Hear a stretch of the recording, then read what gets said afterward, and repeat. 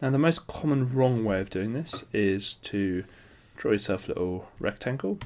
Say, right, it's 2.4 by 9.8 and therefore what I'm going to do is 2.4 times 9.8 and there we go. The problem is that it says that the measurements are to the nearest tenth of a centimetre and we're asked for the minimum area. So it means we're going to be working with bounds. And the way of doing bounds is draw a straight line and we're going to do 2.4 to start with. So we're going to put 2.4 in the middle, find the next one down it could have been, well that's 2.3, and the next one up it could have been 2.5. And because we're finding the minimum area, I'm interested finding the lowest it could have been. So that's the halfway point between 2.3 and 2.4, which is 2.35. And I'm going to do the same again for, for 9.8. So we put 9.8 in the middle. Next one down would have been 9.7. Next one up would have been 9.9. And I'm going to find that halfway point, so which is 9.75.